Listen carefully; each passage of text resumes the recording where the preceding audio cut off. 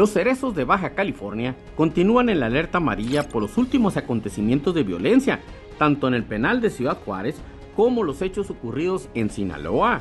Autoridades aseguran que están en la alerta siempre, pero ahora con mayor énfasis en base a un protocolo nacional.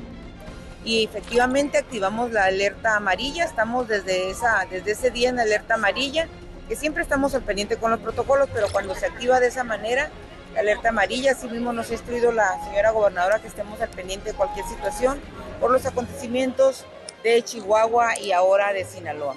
En Baja California hay hacinamiento todavía en el penal de la mesa en Tijuana.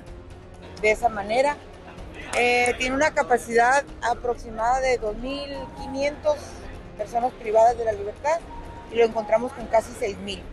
Ahorita andamos en aproximadamente 4.000 privados de la libertad en Tijuana, o sea, hicimos un gran avance, pero... Buscarán modernizar los sistemas de ingresos de visitas toda vez que siguen intentando introducir drogas y armas a los penales. Pues desafortunadamente es, el tráfico de drogas. Y desafortunadamente por propios familiares que han intentado ingresar drogas. En qué en zapatos, en suelas, en ropa de ellos mismos o pertenencias que tratan de introducirles a sus familiares como los tenis blancos con doble suela, es lo que se utiliza. Eh, de pronto sí hay alguna eh, oposición a estas revisiones, sin embargo, ahí no hemos bajado la guardia definitivamente. Han realizado en esta administración 4.000 traslados y aún faltan más. En números verdes, Ensenada Mexicali y estamos trabajando con Tijuana. Eh, recuerden pues que hemos llevado a cabo más de 4.000 traslados en todo el estado y traslados federales, número histórico, ¿no? De esas cantidades de traslados a, otros centros del país también, como es Guerrero, Nayarit, Sinaloa, eh, Coahuila, Oaxaca y otros centros penitenciarios. Los cerezos son una bomba de tiempo, por lo que se debe poner mucha atención.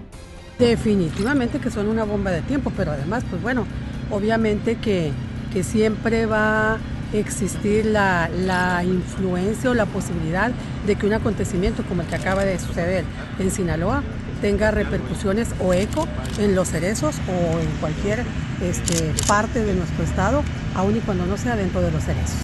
Con producción de Tania Hernández para Notizona MX, redefiniendo la información, José Manuel Yepes.